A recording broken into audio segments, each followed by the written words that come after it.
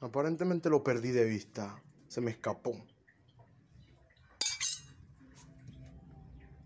Ahí está. Estas pruebas publicadas por el propio agresor no fueron suficientes. El juez de paz decidió que Duque regresara al hogar donde fue maltratado y que generó hasta la detención de su dueño, quien en su estado de WhatsApp indicó que el perro era de él, que lo había comprado y que podía hacer lo que quisiera con su mascota. Estamos indignados por esta decisión del juez de paz de Pacora, donde prácticamente ordena que la víctima regrese con su agresor el juez de paz dice que si lo vuelven a maltratar a Duque, que recordemos que fue brutalmente estrangulado, entonces ahí sí decomisa el perro.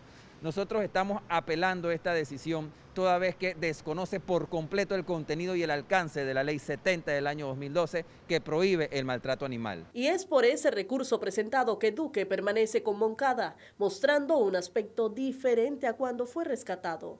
Es increíble porque un grupo de personas nos hemos unido por el amor a los animales eh, y por el amor a Duque y su cambio ha sido radical.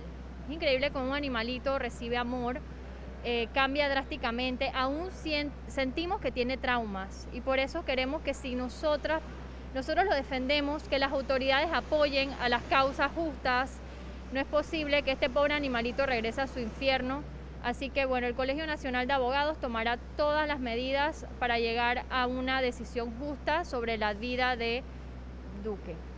En su momento, el agresor de Duque fue sancionado con una multa de 500 dólares. La última palabra sobre el destino del Chihuahua la tendrán tres jueces del Tribunal de Apelaciones.